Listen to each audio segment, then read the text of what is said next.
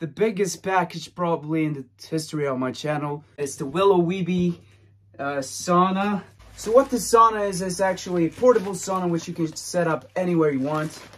And the cool thing about this, it's not expensive.